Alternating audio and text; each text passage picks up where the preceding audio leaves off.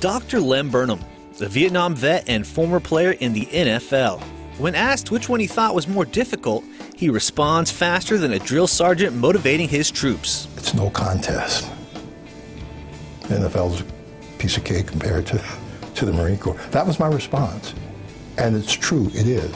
In 1965, Dr. Burnham, still a senior in high school, was drafted by the Army, which required a minimum of a two year enlistment. However, Dr. Burnham was compelled to join the Marine Corps and signed up to serve his country for four years instead of two. He was sent to Parris Island for boot camp, where the next three months would affect him for the rest of his life.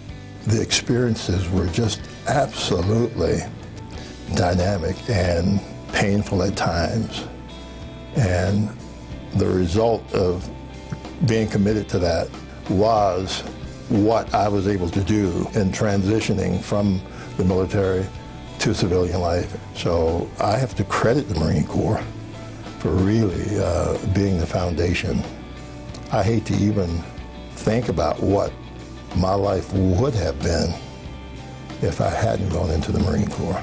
He would use the characteristics he learned as a service member, such as commitment and discipline, to excel in football and reach the highest professional level, the National Football League.